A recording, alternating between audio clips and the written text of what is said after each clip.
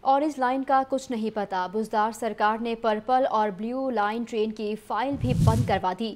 پنجاب حکومت نے ماس transit authority کو منصوبوں میں پیش رفت کے حوالے سے روک دیا۔ اسی پر تفصیلات جانیں گے شیخ زین العابدین سے۔ جی زین، بتائیے۔ جی ناشیہ زبیر، یہ سابق شہباز دور حکومت میں میس ٹرانزٹ کے دو میگا پروجیکٹس کا خواب دیکھا گیا تھا، مگر تبدیلی سرکار نے شہر لاہور میں یہ جو دو میگا پروجیکٹس ہیں، ان کو بھی بند کرنے کے احکامات جاری کر دیے ہیں۔ اس سلسلے میں گزار سرکار کی جانب سے میس ٹرانزٹ اتھارٹی کو یہ احکامات جاری کیے گئے ہیں کہ پرپل لائن اور بلو لائن ٹرین منصوبے کی فائل بند کر دی جائے۔ یہ شہر میں اورنج ٹرین جو اس وقت زیر تعمیر ہے، اسے منسلک دو اور میٹرو ٹرینیں چلائی جانی تھی۔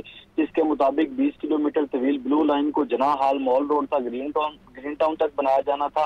تاہم، انیس کلومیٹر جو طویل، جو دوسری پرپل لائن ہے، اس کا بھی پی سی ون تیار کیا گیا تھا، جو کہ داتا دربار سے ایئرپورٹ تک بنایا جانا تھا۔ مگر اور سابق حکومت نے پرپل لائن جو ٹرین ہے، اس کا تو پی سی ون بھی مکمل کر لیا تھا، اور اس سلسلے میں چائنا سے دو ارب ڈالر قرض لینے کا بھی معاہدہ طے پا گیا تھا، جس کی وفاقی جو سینٹرل ڈیولپمنٹ ورکنگ پارٹی ہے، انہوں نے منظوری بھی دے دی تھی، مگر تبدیلی سرکار کی جانب سے اب ان دونوں منصوبے بند کرنے کے حوالے سے میس ٹرانزٹ اتھارٹی کو احکامات جاری کر دیے گئے ہیں اور ان کو حکم دیا گیا ہے کہ ان منصوبے پر مزید کوئی بھی کام نہ کیا جائے۔ ٹھیک ہے زین، بہت شکریہ۔